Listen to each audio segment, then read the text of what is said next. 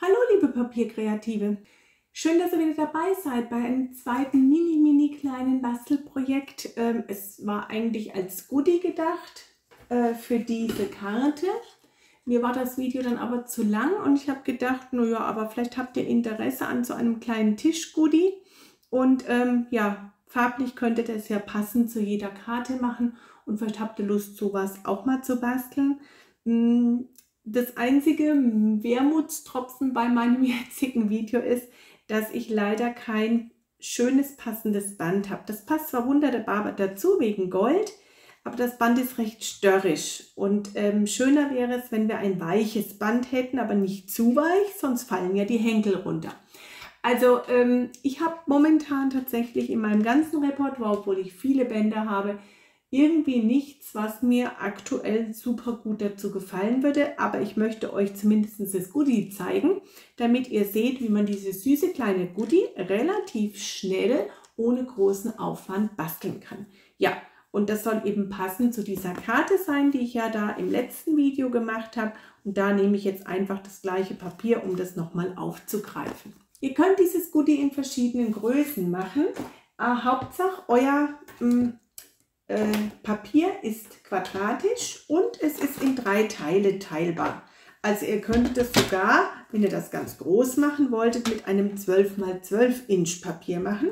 Ich habe jetzt 6 x 6 Inch oder 15,2 Zentimeter und ich bediene mich, weil es eben 6 Inch ist, der Inchmaße.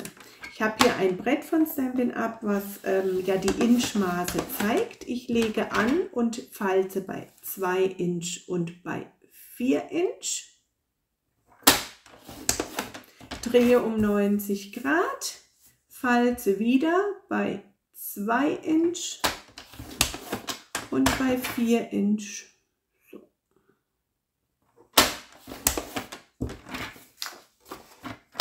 Also hinten sieht man es etwas besser. Wir haben jetzt diese vielen Falzlinien und die ziehe ich mir jetzt einmal gründlich mit dem Falzbein nach.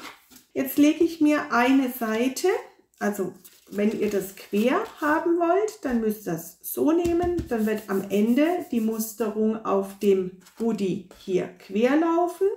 Ich möchte es aber hochkant, also nehme ich das jetzt so falze mir an der ersten Falzlinie um und hier ebenfalls an der ersten Falzlinie. Ziehe mir das nochmal gut nach. Das mache ich gleich an der gegenüberliegenden Seite auch. Das sollte schön liegen.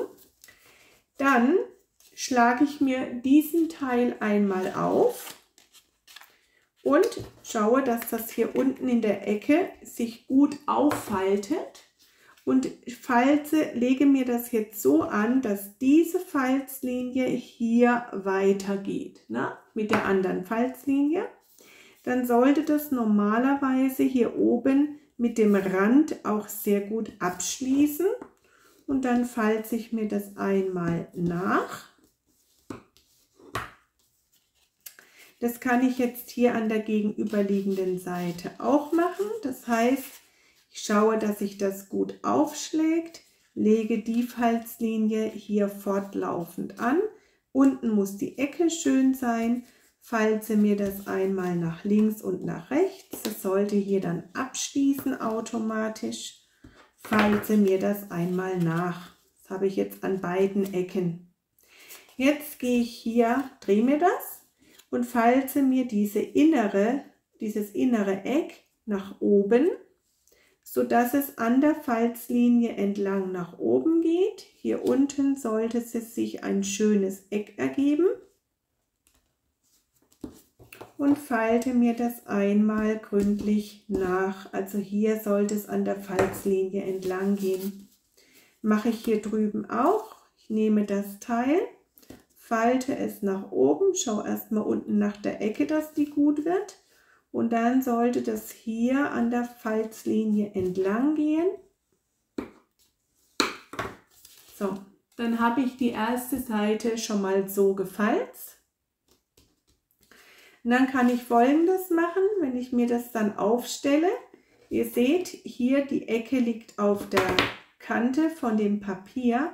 dann kann ich mir das eigentlich auch schon mal hier nach innen umschlagen. Ähm, jetzt hoffe ich, dass ihr das seht. Ich versuche es in der Kamera. Und diese Ecke, die geht jetzt praktisch innen an der Falzlinie entlang. Ich falze mir das einmal nach. Und dann mache ich das hier auch. Ich schlage mir das um. Innen geht es wieder an der Falzlinie nach unten und ich falze mir das so gut wie ich kann. So sieht es jetzt aus. Fast wie so ein Schiff. Da ich das jetzt auf der anderen Seite auch machen muss, muss ich mir das Ganze wieder aufmachen. Das ist immer eine Herausforderung, am Ende das wieder so zusammenzulegen. Jetzt muss ich das auf dieser Seite auch machen. Das heißt, ich lege mir die Seite nach oben und falte mir jetzt erstmal das hier unten nochmal entlang. Mache ich auf dieser Seite auch, klappe mir das nach innen, das unten liegt entlang. Ich nehme mir wieder mein Eck, falte das auf lege das nach oben in der Verlängerung von der Falzlinie, gebe hier einmal Kante.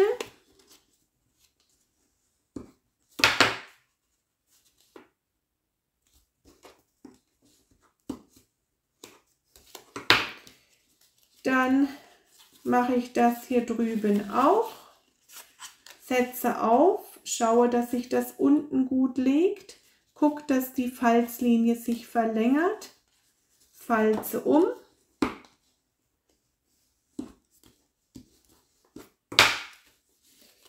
Dann nehme ich diese inneres, dieses innere Eck, gehe hier nach oben an der Falzlinie entlang. Hier unten muss es sich schön legen in der Ecke. Und hier an der Falzlinie entlang gehen. Umdrehen, gleiches Spiel hier, unten schauen, dass sich die Ecke schön bildet, nach oben entlang der Falzlinie, nachfalten, nach innen umlegen, nachfalten,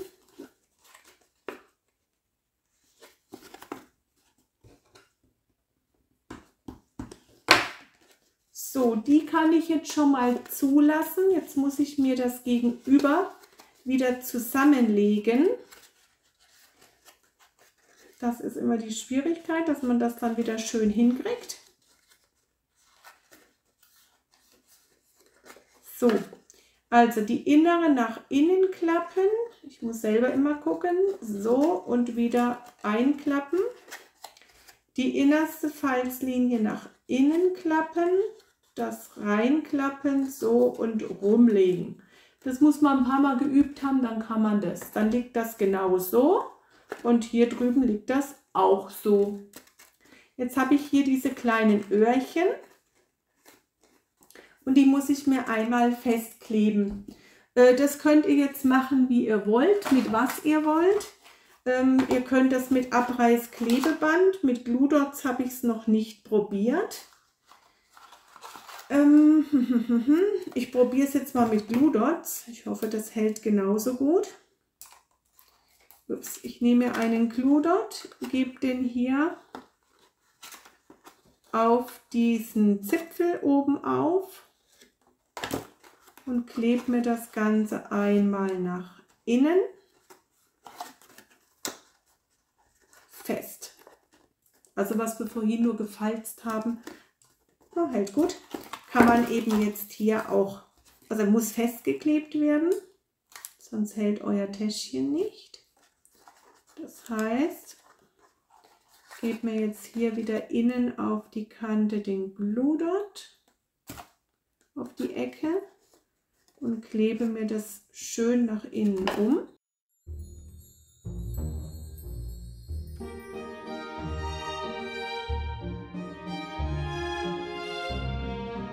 Und dann, da ist ja hier so eine, eine, eine Kante, hier war ja ein X. praktisch gefalzt. Ich drücke mir hier oben nach innen, gehe hier Kante auf Kante, hier, ne, Kante auf Kante. Und jetzt falze ich mir das hier einmal schön nach. Also das kann man nicht richtig zusammendrücken.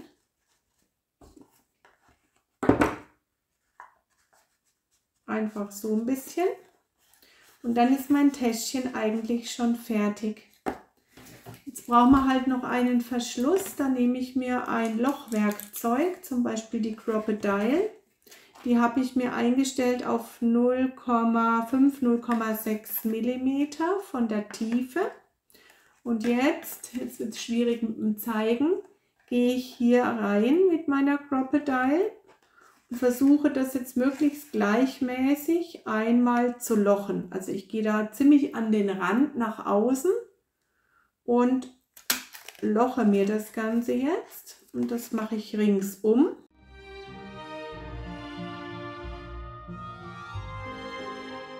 habe ich mir meine Löcher gesetzt. Und jetzt brauche ich halt noch Band, um das durchzuziehen. Gut. Wie gesagt, ich habe jetzt leider kein goldfarbenes geeignetes Band. Das, was ich hatte, war zu dick. Ich probiere es jetzt einfach mal. Das ist sehr weich. Das wird nicht schön halten. Aber die Farbe passt auch zu meiner Karte. Mm, das ist ein altes Band in Zimtbraun und ich finde, das kann man dazu auch gut sehen. Äh, einfach, weil das andere nicht so gut geklappt hat. Äh, ich mache mir das Leben einfach. Ich nehme jetzt hier einfach eine dicke Nadel. Gehe, fädel die mir einmal ein. Gebe Band und gehe von vorne nach hinten durch. So, versuche das jetzt einigermaßen gerade zu kriegen. Ich brauche schon einiges an Band, weil ich zweimal rumgehe. Gehe von vorne nach, nee, von hinten nach vorne durch und schaue, dass das weit offen bleibt. Also so ziehen, dass das schön offen bleibt. Dann gehe ich wieder, und jetzt ist so die Frage immer, ich gehe jetzt von außen. Ich gehe jetzt wieder durch, also ich gehe jetzt hier seitlich wieder durchs Loch. Achtung, nicht ins, in, de, in den ähm, anderen Faden rein, also nicht ins Band reinstechen, sondern nebendran. Gehe ich da einmal wieder durch.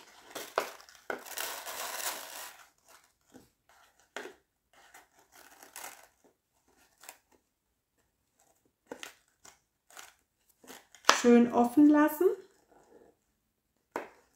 dann wieder rüber, außen, rein und durch.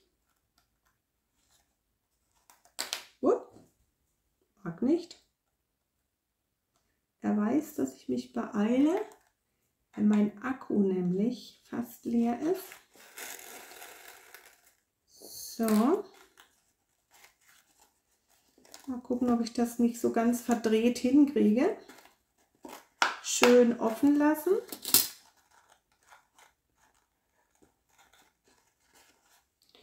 Dann kann ich gucken, reicht mir das für ein Band, für eine Schleife oder mache ich mir hier nur, vielleicht mache ich mir auch nur einen Knoten. Also hier habe ich mir auch nur einen Knoten gemacht, weil das Band sehr steif ist. Sonst bräuchte ich nämlich hier noch ein bisschen mehr Band. Das reicht mir für eine schöne Schleife nicht.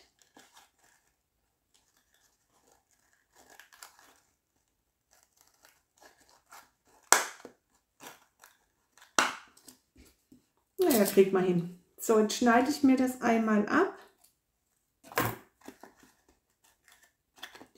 Mache mir hier jetzt eine schöne Schleife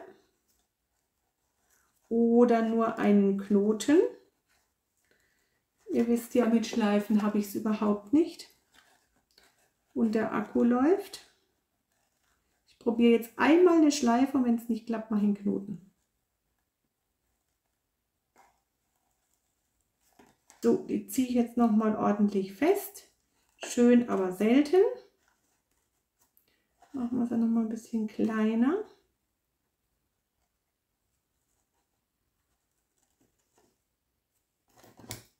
Das Band ist ein bisschen franselig, deshalb mag ich das eigentlich gar nicht so gerne. Und jetzt können wir die Bänder, jetzt müssen wir gucken, ich habe ja so ein Doppelband.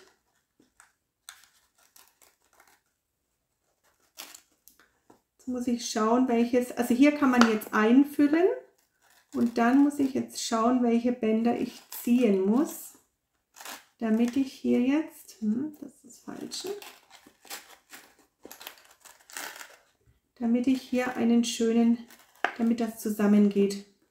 So, und dann habe ich hier einen wunderbaren Henkel.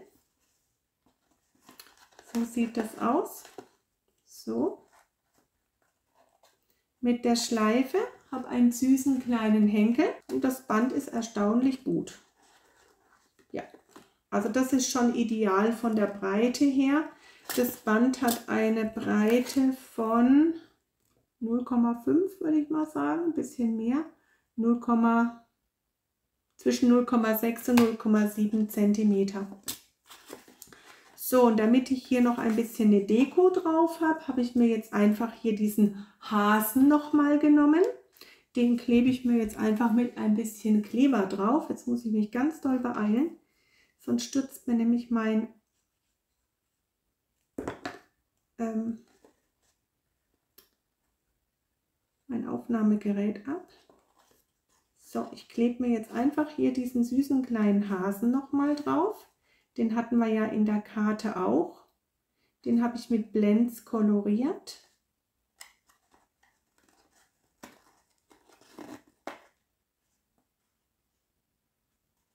Und wenn es schnell gehen soll, geht es eh nicht schnell. Das kennen wir schon.